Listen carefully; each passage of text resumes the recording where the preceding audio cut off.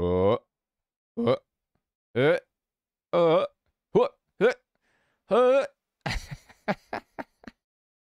Erik Ten Hag, I swear to God, he's probably going to be more excited than most Manchester United fans at the fact that Antony is joining. But I am excited to be doing this video. I'm excited to be able to do a scouting report on Antony, on taking a look at the skills, the strengths, the assets, the things that he's going to have to improve at Manchester United.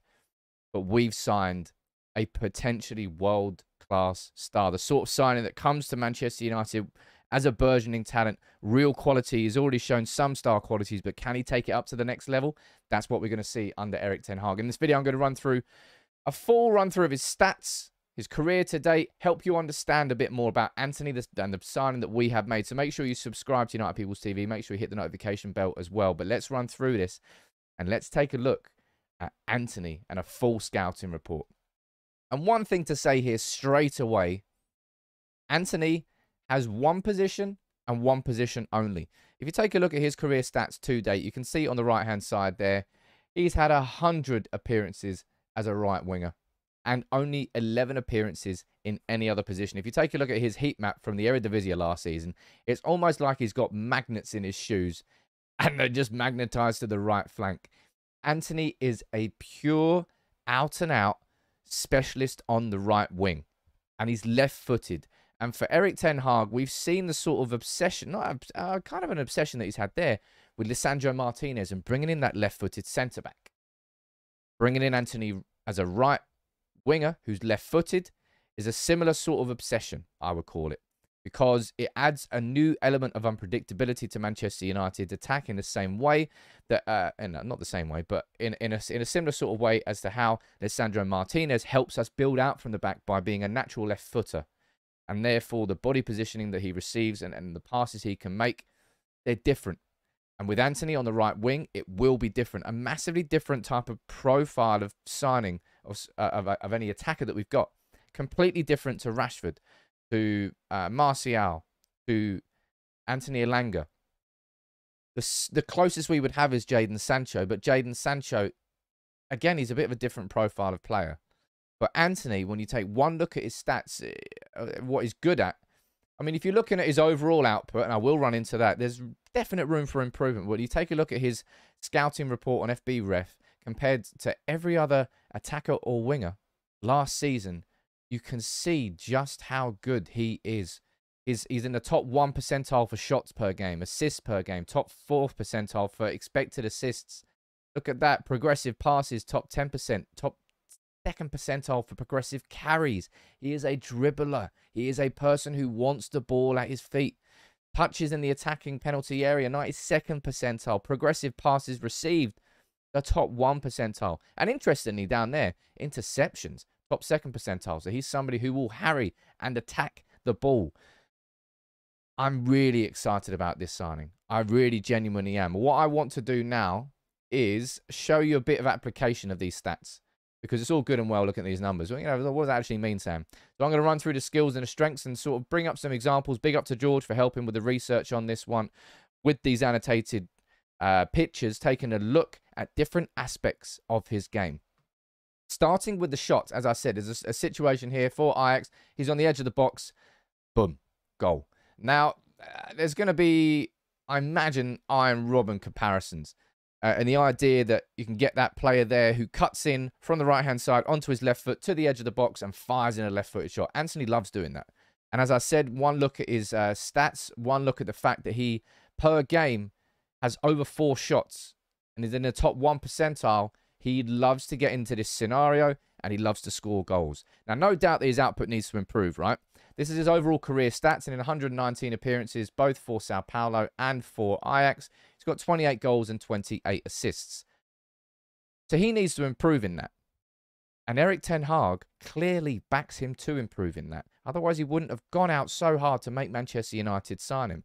And as I said there, the output is there in terms of the shots he's taking and the positions he's getting himself into. But he's going to have to improve that overall output of results at Manchester United. But I suppose the thing there's, there's honestly there's so many different facets to his game that you could get more excited about, and this is clearly one of them, because one thing we saw against Southampton, one thing we've seen so often is Manchester United team was a lack of creativity up front. Antony Common sort of explodes that completely. And here's quite a few different examples of that. In this situation here, you can see Antony's got two options there in front of him.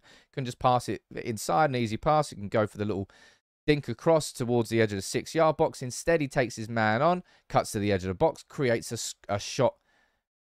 Sorry, creates a shot for himself. Another situation here, he's got uh, not really surrounded, but he's got three defenders in front of him, two kind of easy passes that he could take on, sort of pass the responsibility to someone else. Instead, he takes his man on and creates all of that space to run in behind. Another example here, four defenders around him. He squares up. I mean, it's, it, it, you can see the two balls that he could take on, but instead, now I'll just take my man on and create all that space in behind that I can run into. Antony is not somebody who will shirk the responsibility of the ball. He'll not. He's not somebody who's going to shirk the responsibility of creativity. Now, I imagine it's going to be a little bit like Nani. Certainly at the start of his Manchester United career, because there's going to be frustration that from fans in the stadiums that his output doesn't necessarily lead to shot creating chances, but he is going to be somebody who takes that risk. Somebody who wants to create assists, wants to create shot scoring opportunities. And I don't think you can say that about too many of Manchester United's attackers who love to shirk responsibility, just wait for the easy overlap. That's all good and well, and it's a facet of the game, but Antony is somebody who can make something happen on his own. And these are cracking examples as well of the flair that he's going to bring to the game, the skills that he's going to bring there. Then that's Haller in the middle. Outside of the boot, boom. Fantastic assist. Not only the the vision to see that pass, look, I threaded the needle between those two defenders with the outside of his boot, but the confidence to actually take that on and fire the ball in. Here, another example. Look at that. One, two, three, four, five defenders in between him. And I'm getting that's Haller again. But he finds that ball. And again here, look, lots and lots of defenders around him. It's a tough situation, but he found the right ball to help the attack go further. One more example here. It's quite a simple ball there. Instead, Antony decides to no, I'm going to go for that ball. Creates a better goal scoring opportunity and he has the confidence to take that pass on. It's the confidence that I want to see at Old Trafford. Antony is going to be that player. I've said it quite a few times in the live streams. He's going to be the player that gets you shuffling towards the front of your seat in Old Trafford. He's the man who's going to take the responsibility on to try and create those chances. I'll go back to a few of these there that I just ran through here. This situation in particular, the easiest and safest option would have been to pass to one of his teammates, but instead he dribbles past his man. That's what I mean. And we go back to this situation here. Look, progressive carries. There is only is in the top two percentile for dribbling. He loves to take his man on, get the ball, skip past him. Get the ball, skip past him. That's probably the biggest facet to his game that is going to certainly improve Manchester United's attack and bring a massive element of unpredictability to it.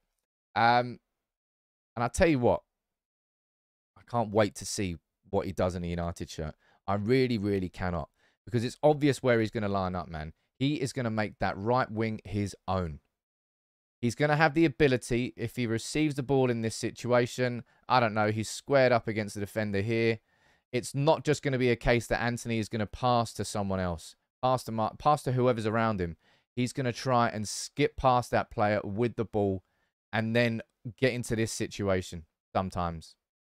Create that chance for whoever's in the box to get in the box, or he's going to take it on himself. He's going to skip past, go to the edge of the box, and create a goal scoring shot for himself. Antony is somebody who Erik Ten Hag, but as I said, I'm going to go back and play this video at the start.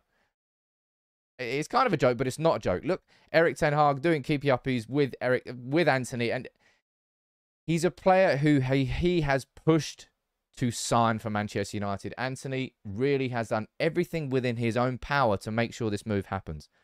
Erik Ten Hag has done everything within his power to make sure Manchester United stump up the cash to make it happen. Is it overpriced? Yes, it's massively overpriced. Could he be the perfect signing for Erik Ten Hag? Yes, he could. One last look at his stats here, and it's it's obvious to see that it's the profile of an Erik Ten Hag signing that interceptions being in the top two percentile means that he can aggressively press from the front when we need him to. And that movement, that energy, we need mobile, dynamic attackers. But look, the progressive carries being in the top two percentile, progressive passes received, shots in total, assists. Antony is a Brazilian star in the making. He already is a star. Can he sort of supersede Rafinha, I suppose, inside? I don't know whether he starts for the Brazilian national team, but that's going to be his aim now between now and the World Cup to have a stunning start to the season and force himself into contention to start for, for to start for Brazil at the World Cup. But I think you should really be excited about this signing. Ajax fans who have all spoken to me, they said, look, man, if he can find that consistency, you've got a top class star in his hands. United fans are going to have to be patient. The shot output is there. His goals and assists, I'm sure, will come in time. And, and it's going to be up to Antony to build on the, the, the growth that he's had at Ajax and to go up to a new level at Manchester United because it's going to be required. And if it happens, he's going to be a cracking signing. Look, let me know what you think in the comments below. Hopefully this video has helped you understand a bit more of a profile of Antony's game. And if it has, make sure you subscribe to United People's TV. But I don't think we'll see him against Leicester, but against Arsenal, bring it on, man. Bring it on.